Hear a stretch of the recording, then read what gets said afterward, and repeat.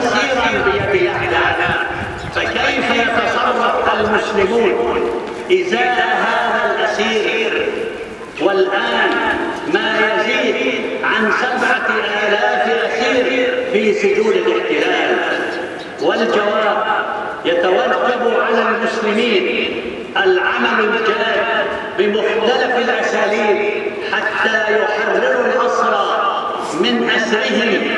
وهناك الآيات الكريمة والأحاديث النبوية الشريفة التي تحث المسلمين على فكاك الأسرار. فيقول عز وجل وإن, وإن استنصروكم في الدين فعليكم النصر. ويقول عليه الصلاة والسلام فكوا العاني وأطعموا الجائع وعودوا المريض وفكاك العاني أي تحرير الأسير. ويقول عليه الصلاة والسلام في حديث نبوي شريف آخر. المسلم أخو المسلم لا يظلمه ولا يخذله ولا يحقره والخذلان هو ترك الإعانة والنصرة هذا هو ديننا الإسلامي العظيم والحمد لله على نعمة الإسلام أيها المسلمون. يا أحفاد المعتصم بالله ومحمد الفاتح. هناك تحذير من رسولنا الأكرم محمد صلى الله عليه وسلم لأولئك الذين يقتلون المسلمين ولا ينصرونهم. فيقول عليه الصلاة والسلام ما من امرئ يقتل امرأ مسلما في موضع تنتهك فيه حرمته وينتقص فيه من عرضه إلا خلقه الله في موضع يحب فيه نصرته. ويقول عليه الصلاة والسلام في الحديث القدسي عن الله عز وجل وعزتي وجلالي لأنتقمن من الظالم في عاجله وآجله ولأنتقمن ممن رأى مظلوما فقدر أن ينصره فلم ينصره. وفي رواية فلم يفعل.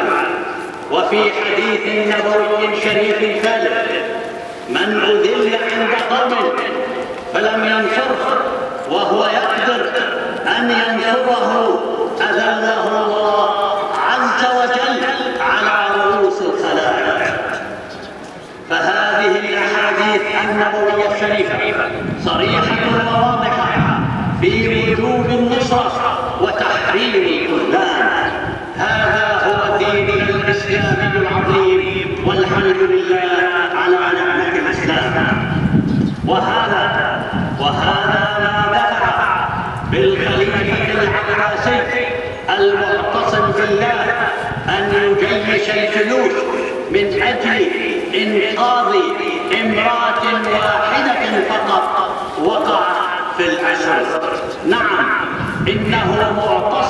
بالله فأجر الله على يديه النصر والتمكين أيها المسلمون أيها المرابطون في أرض الإسراء والمعراج إننا نبارك إننا نبارك صفقة تبادل الأسرى وسبق أن طالبنا بإنجازها مرارا فهي مشروعة. ومن حق الأسرى أن يتحرروا من أسرهم لكن المماطلة كانت من الجانب الإسرائيلي بهدف أن يفرض شروطه في موضوع التبادل. أما وأن الصفقة قد أعلن عنها فنحن نطالب بالتنفيذ وعدم التراجع عنها.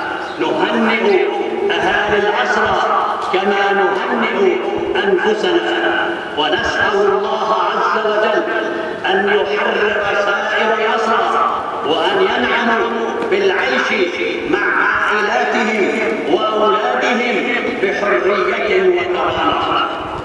جاء في الحديث النبوي الشريف من جهز غازيا في سبيل الله فقد غزا ومن خلع غازيا في أهله فقد صدق رسول الله صلى الله عليه وسلم. ادعوا الله وأنتم مؤمنون بالإجابة.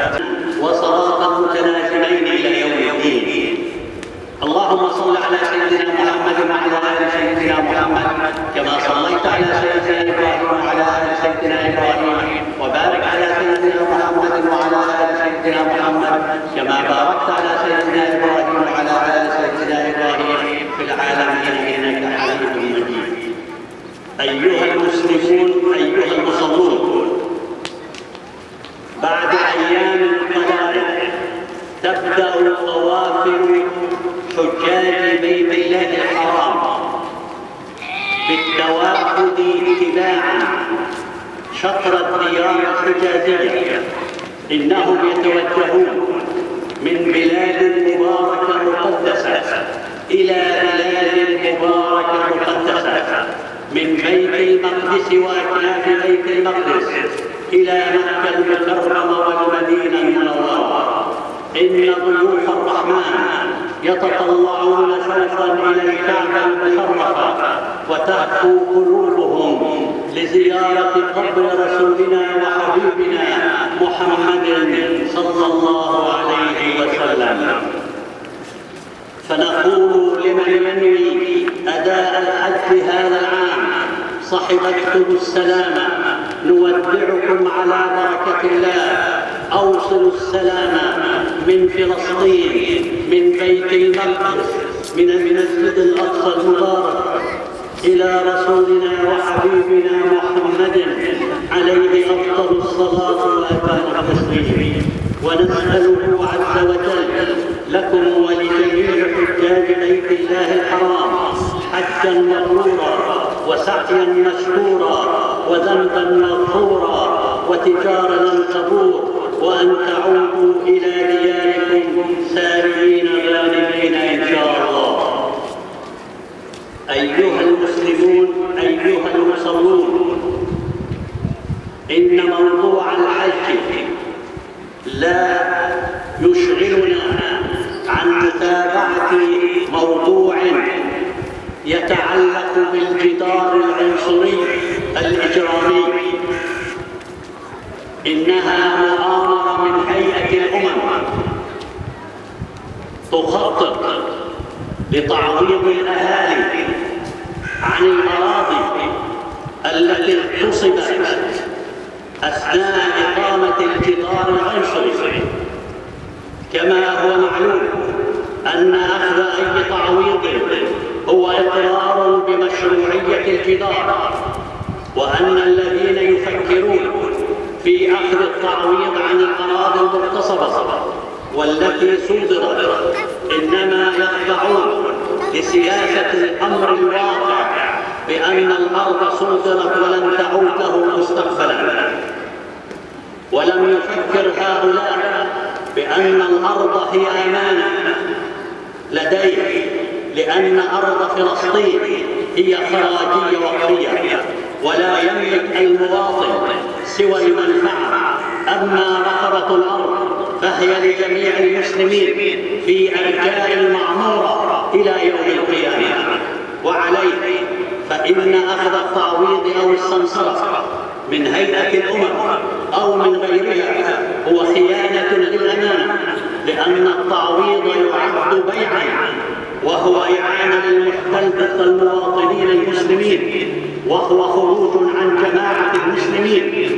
هذا وقد سبق أن صدرت فتوى شرعية في الثلاثين من القرن الماضي عام 1934 تحرم البيع كما تحرم السمسرة. وقد وقع الفتوى الشرعية على هذه على هذه الفتوى حينئذ. علماء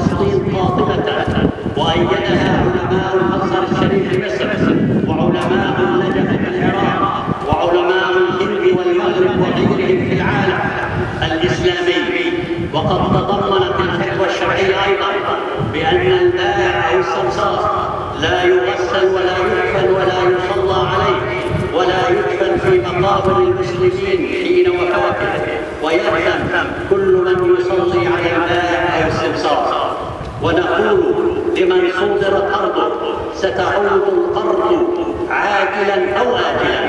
ما دمت أيها المسلم متمسكا بحقك غير مفرط بها. والحق لن يضيع ولن يموت. أيها المصلون يا أبناء أرض الإسراء والمعراج إن حقنا في أرض فلسطين واضح وضوح الشمس في رابعة النهار. كيف لا؟ والحق مرتبط بقرار الرباني. من فوق سبع سماوات فلا يقطع هذا الحق للتنازل ولا للتفاوض ولا للمساومة ولا للمقايضة ولا للتبادل ولا للتعويض. إنه حق أبلغ حق قائم. حق دائم حق قوي حق مستمر حق لن يسقط حق لن يضيع. ما دام يراه المطالب مهما طال الزمان وتوالت الأجيال. والله غالب على أمره ولكن أكثر الناس لا يعلمون صدق الله العظيم. أيها المسلمون الساعة ساعة استجابة فأمنوا من بعد. اللهم آمنا أوطاننا وفرج الكرب عنا وعليك بمن آذانا. اللهم احمي المسجد الأقصى من كل سوء. اللهم هيئ من يوحد المسلمين ويحرم حذو صلاح الدين. اللهم ارحم شهداءنا وشاف جرحانا وأطلق سراح أسرانا. اللهم آت نفوسنا تقواها وزكها أنت خير من زكاها. اللهم يا الحائرين ويا نصير المستضعفين. ندعوك بكل اليقين. إعلاء شأن المسلمين بالحق والنصر المبين. اللهم إنا نسألك توبة نصوحا. توبة قبل الممات. وراحة عند الممات. ورحمة رغبة بعد الممات. اللهم انصر الإسلام والمسلمين. وأعلم بفضلك كلمة